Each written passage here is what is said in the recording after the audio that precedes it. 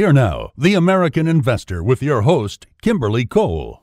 Dr. Murphy, tell me about the management of BioHeart. Uh, I've been involved with management of growing companies for quite a few years, and we have here at BioHeart probably the best manager uh, from a corporate point of view uh, of any that I've ever related to in the form of um, uh, Mike Tomas.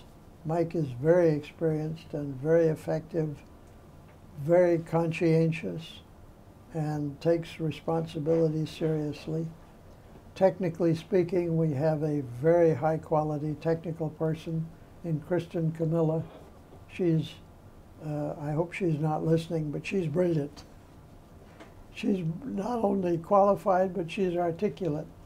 And it's interesting that many times you find that technical people are not articulate. Dr. Murphy, you yourself have made a considerable investment of several million in BioHeart. Any regrets? I'm enthused with my investment in BioHeart of a few million dollars, uh, but I do regret that we have not achieved our goal yet of actually treating all of the patients who need it. Dr. Murphy, in your opinion, what do you think the financial value of BioHeart is? The financial value of BioHeart is, uh, in my opinion, uh, quite major actually, because we are working to treat a deficiency of the human heart, which is pretty common. And that means that there are going to be lots of people that need, need the technology.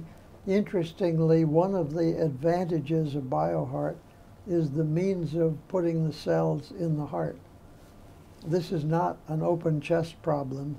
This is a catheter and go home this afternoon kind of a, of a treatment. And that's dramatically advantageous.